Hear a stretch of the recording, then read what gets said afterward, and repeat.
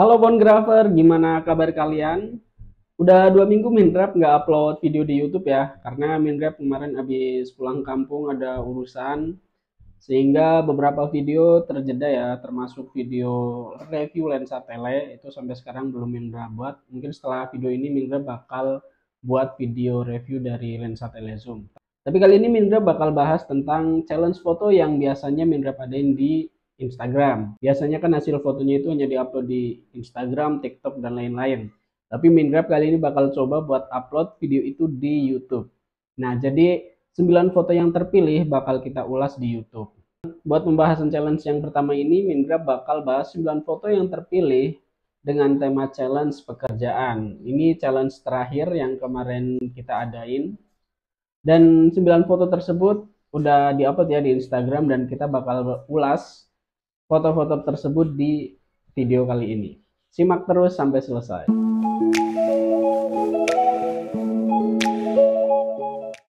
Kenapa Mingrab ambil tema pekerjaan? Karena menurut Mingrab, aktivitas dalam bekerja itu punya feel yang kuat, punya rasa yang kuat jika kita uh, abadikan dalam foto. Dan kemarin ada 20 fotografer yang berpartisipasi sebenarnya terhitung sedikit tapi tetap Mingrab sampaikan terima kasih banyak karena udah berpartisipasi. Semoga nanti next challenge lebih banyak lagi ya. Dan tentu Mingrab agak susah nih buat milih 9 foto dari 20 foto yang disetorkan.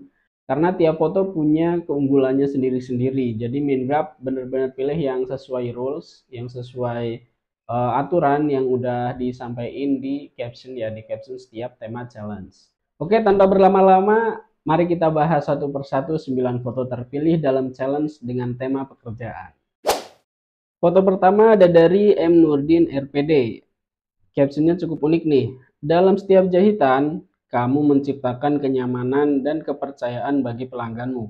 Foto ini diambil dengan kamera Poco X3, diedit dengan aplikasi editing bawaan, dan berlokasi di Kosambi, Bandung. Photographer bisa lihat foto ini cukup detail karena selain menampilkan aktivitas bekerja, Bang Nurdin juga berhasil menangkap ekspresi si subjek. Meskipun ia tidak menghadap ke kamera, namun ekspresi bahwa ia sedang fokus jelas bisa dibaca dari si subjek. Selain itu, detail lain seperti gunting dan alat-alat lain juga masuk frame. Foto ini punya feel yang kuat. Backgroundnya juga cukup dramatis, tembok penuh coretan, cukup berantakan tapi tidak mengalihkan pandangan orang yang melihatnya, sehingga tetap fokus pada subjek foto.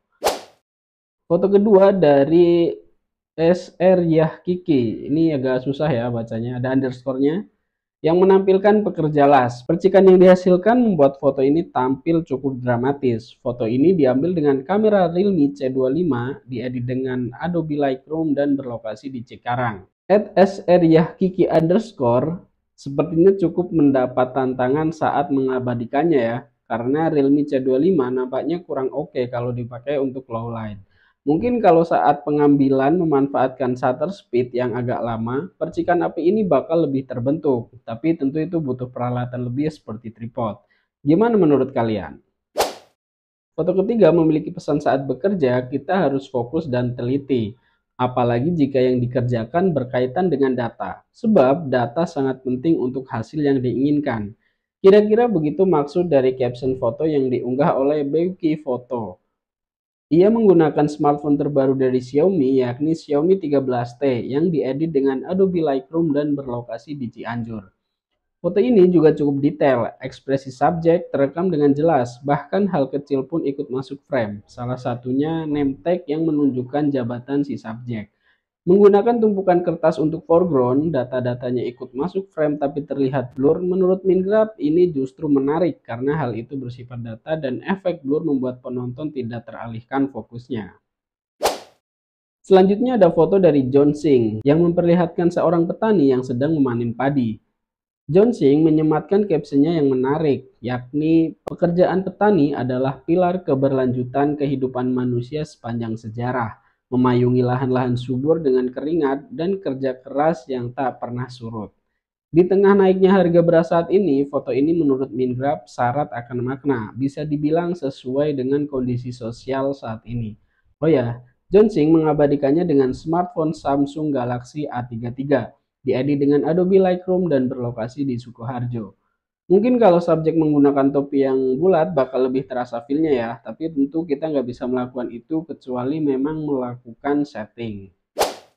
Kita beralih pada foto kelima yang diabadikan oleh panggil saja Arif yang memotret pekerja proyek. Pada foto ini Mingrab rasa Arif terlalu banyak menggunakan vignette sehingga jelas banget batas vignette-nya yang lingkaran seperti ini.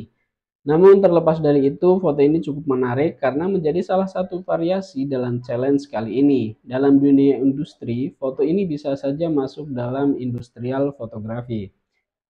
Arif mengabadikan foto ini dengan Vivo V23e yang diedit dengan Adobe Lightroom dan diambil di daerah Tokyo Mega Kuningan Project. Banyak yang suka dengan foto ini di Instagram, mungkin karena foto ini memiliki proximity atau kedekatan tersendiri dengan kita sehari-hari. Seorang pekerja di bengkel yang sedang memperbaiki motor sampai motornya dibiringin kayak gini nih. Angle foto yang digunakan juga tepat sehingga foto tampak lebih hidup. Ada subjek yang agak mengganggu sebenarnya di foto ini, yakni kaki yang masuk frame di bagian ini. Tetapi sekilas nggak kelihatan karena tertutup sama selang kompresor ini ya. Foto ini diambil dengan Redmi Note 11 Pro 5G oleh Ed Almanisa 2013 di Tangerang dan diedit dengan Adobe Lightroom.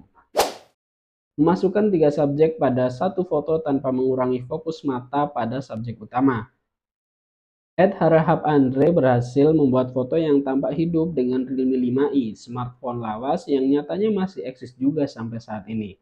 Namun jika dilihat seksama, foto ini justru lebih fokus pada laptop daripada si subjek. Tetapi ekspresi subjek masih bisa dirasakan ya. Ini kayak lagi ngasih tahu sesuatu nih di cerita foto ini. Ed Harhab Andre mengedit foto ini dengan aplikasi Lumi.